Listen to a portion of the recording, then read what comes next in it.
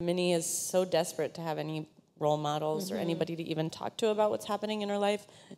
She starts recording her diary into a cassette tape and she sends fan letters to an artist who she's in, obsessed with named Aline Kominsky. And it's kind of all of these little, yeah, signals out into the universe like, somebody please relate to me. Yeah. And then eventually, when she gets a response from Aline Kominsky, a letter in return, it means so much. Yeah.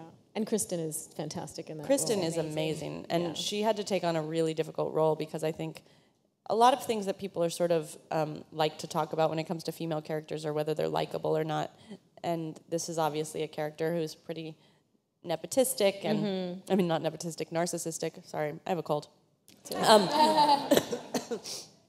she's narcissistic. She's partying. She probably never wanted to become a mom, and uh, so that's a could be considered or called an unlikable character. But she mm-hmm. brings a lot of humanity to her, and she's just feels like she just stepped right out of the '70s. She's so good.